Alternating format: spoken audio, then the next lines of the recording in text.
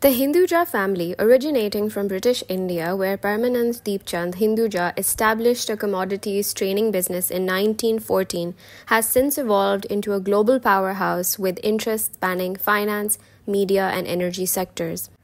Sri Chand Gopi Chand Prakash, currently sentenced, and Ashok Hinduja expanded the family's empire, diversifying into international ventures, including distributing Bollywood films. Recently, the family's scion Ajay Hinduja, his wife Namrata, and his elderly parents Prakash and Kamal Hinduja faced a Swiss court's judgment for exploiting workers hired from India.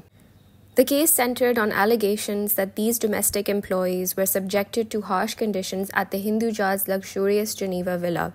Despite their immense wealth, estimated at $20 billion by Forbes, the family was accused of paying these workers wages far below Swiss standards, confiscating their passports, and imposing grueling work hours without proper legal documentation.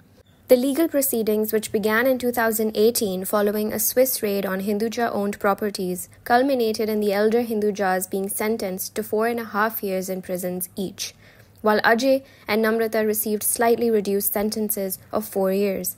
The court dismissed more severe charges of human trafficking but upheld convictions for illegal employment and exploitation.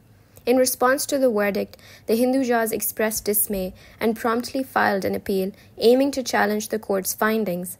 Their legal team defended them in court, arguing that the workers were treated respectfully and provided adequate accommodations. However, prosecutors painted a starkly different picture, alleging a climate of fear orchestrated by Kamal Hinduja, where workers were coerced into extended work hours and deprived of basic labor rights. It is not the first time that Geneva, a hub for international organizations as well as the world's wealthy, has been in the spotlight over the alleged mistreatment of servants. The Hinduja family own the Hinduja Group, a multinational group with interests in oil, gas, and banking. The family also owns Raffles Hotel in London.